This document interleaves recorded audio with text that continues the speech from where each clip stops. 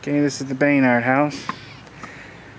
M. Baynard, born South Carolina in 1861, arrived in Auburndale soon after its founding. By 1893, he owned one of the general stores in the community, an acreage planted in citrus and tomatoes. As a highly successful grower, Baynard owned and operated the Chase packing plant until it was destroyed by fire. He sold his general store in 1902 and became intensely involved in real estate development in the 1920s. Baynard built several commercial buildings and at least two residences in Auburndale. Mr. Baynard's home located in Westlake Avenue was built in 1894 by Alfred Chipman Thorpe and is an example of the folk Victorian architectural style. Another Baynard home was built in 1914 by Thorpe's son Harry and later became the Kersey Funeral Home. Ephraim M. Baynard received recognition from the state of Florida as a Great Floridian in the year 2000. The Baynard House is listed the National Register of Historic Places.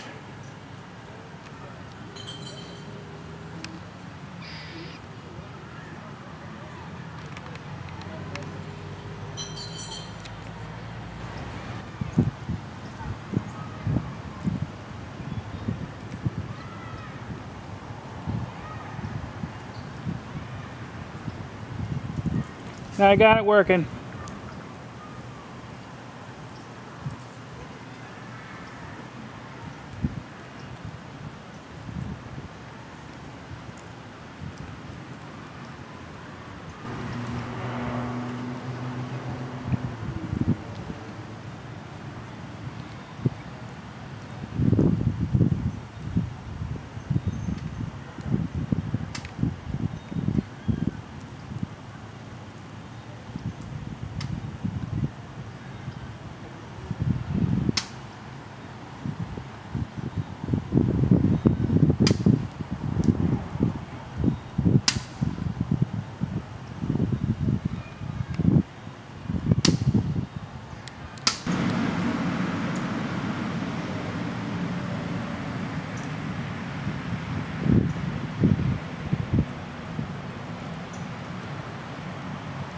I have been in there.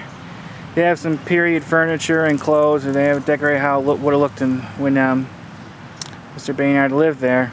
Fortunately, it's kind of hard to get a tour in there now for some reason. So I hope one day I can bring you footage of the inside, but for now, the outside is just going to have to do.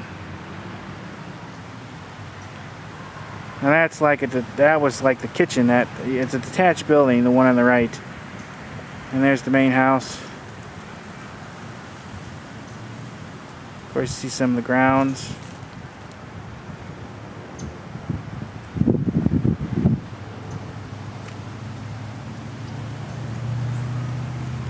It's a neat place if you can get inside and get a tour.